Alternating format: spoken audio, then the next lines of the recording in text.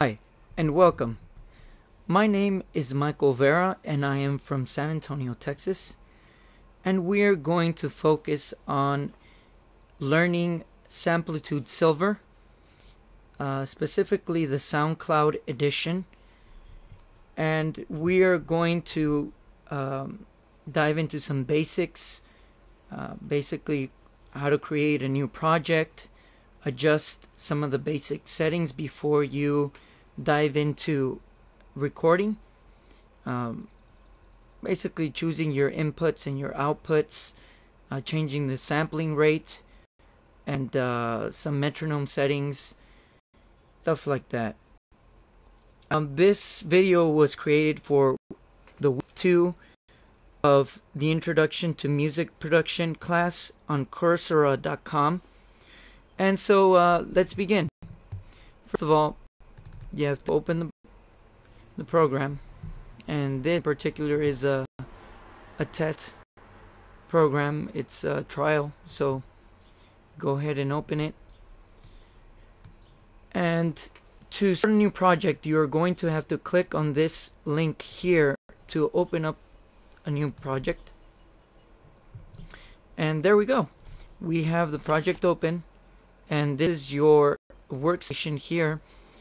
As we can see we have the main level here. And uh, we have the play button the stop button uh, rewind and go to the beginning record. And uh, it's it's pretty pretty uh, self-explanatory. But let us begin by adjusting some of the settings before we start recording here. Uh, in particular, I have a, a Blue Yeti microphone connected.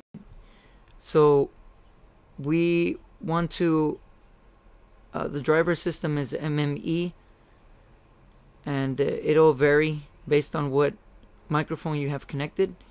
And we want 1024 sampling rate here and 128 here uh, and, and this just um, uh, particularly for my for my microphone. I tried using 128 but it it didn't work out. So uh, the recommended recording setting is 128 uh, bits or, or, buffer that it samples per per second. And so that's okay. We change uh, 24 bit. And then let's move on to our audio devices. We can see that here we could choose what audio device we're going to use for our recording.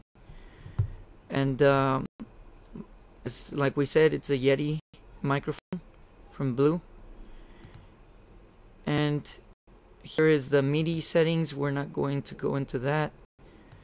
And over here, we could choose whether we want to hear a click when we're recording. Um, this is very useful so that you're in tempo when you record. Um, you could also choose it to play back the clicks and you could put how many measures you want to click before uh, as a start you know to get you into tempo before uh, you start recording. And this is just basically the sound that you want to hear for each uh, for the first beat and for the following beats. And um, output device pretty self-explanatory. And then here we're going to change the the format of recording to 24-bit. It's a it was a default 16-bit, so we change it to 24. And playback pretty self-explanatory here. You don't need to move much. Just uh, the global play device, which is the uh, the output. Uh, so we choose our our speakers here, and that's basically it for uh, just a simple recording. We click OK, and now we're going to uh, change the sampling rate as uh, we discussed in class, we prefer to have a sampling rate of uh, of 4800 uh, 48,000 hertz. And so we are going to change that setting and we we go to program preferences uh, I'm sorry it's in playback and record. We go to recording options. And then we have here uh, you can see that my microphone is already uh, high to begin with so we need to adjust that. We put it in 24 bit like we said stereo and then uh, this is basically the output of the audio file. We want in uh, wave and not mp3 since mp3 is is a loss.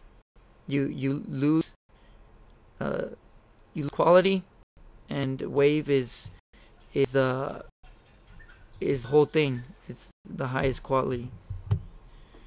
Lossless basically. And uh, recording device we already did that. And the file path. And so we said we wanted to change the sample rate to 48,000 hertz. That just uh, creates more depth to the sound that you are recording. And so we close this out. And we begin recording. And as you can see we have a click for one measure then it begins to record and uh, we could zoom in. And there we go. We have our file here. We stop and then it asks us if we want to use the recording. Say yes and we could play back. One measure and then it begins to record. And uh, here we have some settings. Basically this is uh, this is automatic auto crossfade mode. And uh, th that just says whether you want it to to uh, fade uh, fade in or out and automatically. And then we have our cut tool here which is basically you know if we want to set our a place to cut